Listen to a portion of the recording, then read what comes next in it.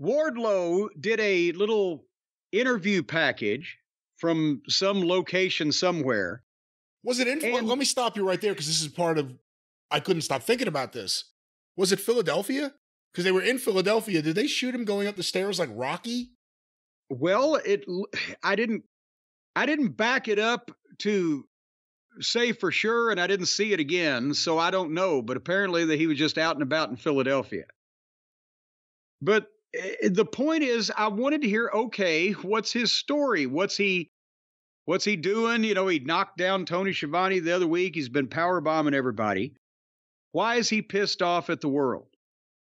Well, he's pissed off at the world because he had to sit at home for four months, not from injuries, not being on vacation, but going into a dark place. Because he had to see that no good MJF become everybody's favorite, become the world heavyweight champion. Everybody loves MJF and everything. He, he's the most popular guy. Okay, why did why did that make Wardlow have to sit at home for four months? Again, like like when Hobbs got pissed off at Jericho when he was seven. They've been in the same company for four years, but he took four years to punch him in the face or whatever. Well, now, It's almost like they're pretending everything that happened after the pay per view where Wardlow beat MJF didn't happen. yeah, the last time that he was over, about a year and a half ago, when he beat MJF, and then MJF went on to be the world champion, and they couldn't come up with anything for Wardlow besides power bombing people, you know, every six months or so. But why did he have to sit he, going into a dark place? I was so. You don't want to hear that from some badass fucking heel wrestler, I guess now he's a heel. You don't want to hear, well, they just wouldn't let me come to work because Tony didn't have any ideas for me. So I just sit and watch this other guy get more popular than me. No, it, I can understand. I if they'd have done this a year and a half ago, if when MJF was gone, Wardlow was still there, and then MJF comes back, and then Wardlow says, "Wait a minute, I beat this guy, and now he's back, and he's the world champion. I ought to get a shot." his time, his uh, statue, as they say, of limitations for something like, hadn't it run out by now? He's been back and he's been gone again and back again and gone again. Why now? Why now is why I'm asking as my gardener pulls up to my property Oh, good God. No, and starts there are no- working. there but- are no people there. Stay away from There the are- mushrooms. There are a crew. You're hearing There- all of this. This has nothing to do with the mushrooms. gardeners are bringing you mushrooms. That's why you hear all these fucking noises. They're good people. Listen, they're good people. They just make a lot of noise. But back to They're what we're talking about. dealers. No one said that. Again, no evidence or proof of this. Just the uh, gardener. Okay, now I know what gardener has meant all along. on a side note, I used to buy weed years and years and years and years ago on Long Island Long before the statute of limitations. from a grocer who would get his fresh groceries like in the Bronx Called it produce? produce. But with the produce, he got just the finest, freshest. It was great stuff.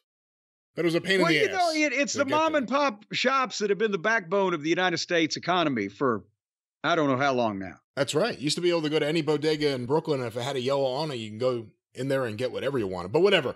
Back to this. What we're talking about is Wardlow, and he had a very visible, almost fluorescent cross around his neck.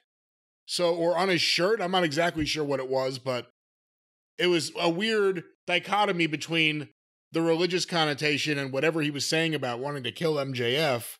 No Arn Anderson, obviously. So they've gotten Wardlow away from Arn. We've seen him I, bomb. for- I, I forgot he was with Arn. Exactly. That's the problem. Oh. The way they followed everything they did to follow up Wardlow beating MJF completely blew it. So I agree with going to the, uh, once again, the Bobby Ewing technique. None of that happened. we'll just start again. Can you get anything out of Wardlow?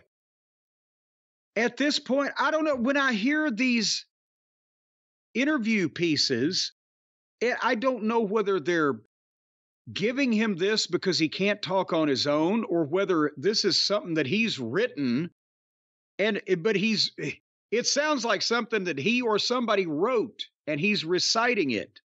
It's very flowery verbiage. Most people don't talk like that, especially some big badass. But uh, again, it's it never followed up on. Remember, he was, you know, he was suing the. They're getting sued by the fucking security company for beating them up, and and he's had all these different weird things go on. But whenever you give him the opportunity to speak in the ring, as rarely as that has come, or to speak on one of these packages, nothing is jumping out about his verbiage or his delivery or his voice or his. Remember, I said, and somebody on Twitter said, it now I can't unsee it. He looks and sounds about as boring as Ethan Page, just bigger on the sauce.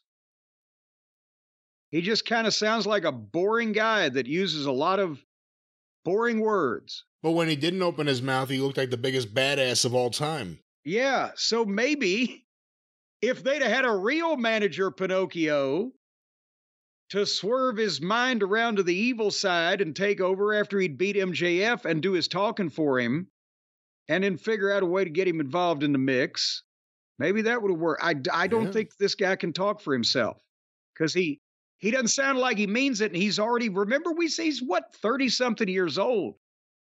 See, I don't know. Your cross promotional stables coming together: Wardlow, Nakamura, and you. Oh, good. They Lord. all need talkers, or a talker. Hey, well, let me just work on breeding some more talkers. I'll work on the breeding.